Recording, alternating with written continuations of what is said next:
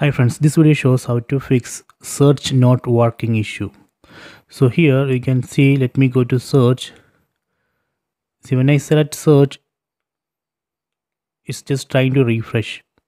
Search is not working. So I will tell, I will show you how we can fix this. Okay. So it is not showing the keyboard when I select the search so first go to settings then go to apps then go to see all apps then go down then select sh uh, show system apps. Select it. Then from this list we need to find google app just search for uh, just locate google app.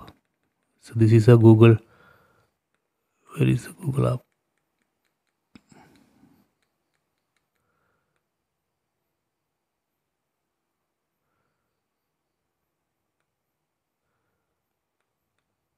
See select the google app.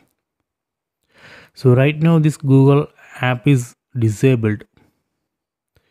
So we need to enable the google app let me enable google app. Select ok so now i have enabled google app. If there is an update please update the google app. Just update the google app then enable it. Then let me go to home screen then select search. See now search is working. So this way we can fix a search not working issue so i hope you have enjoyed this video. Please subscribe my channel. Please like and share the video